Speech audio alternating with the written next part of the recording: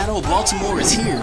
The Coppin State Eagles host the Morgan State Bears this Saturday, January 14th, on the campus of Coppin State University. Women tip off at 2 p.m. The men's game starts at 4. East versus West. HBCU bragging rights are on the line. You don't want to miss the Eagles and the Bears going at it. For tickets, visit CoppinStateSports.com today.